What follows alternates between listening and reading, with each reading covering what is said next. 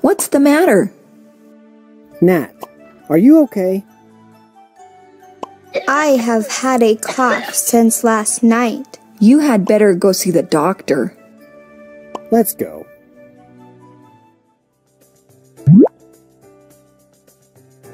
What seems to be the problem? I have a cough. Let me check your temperature.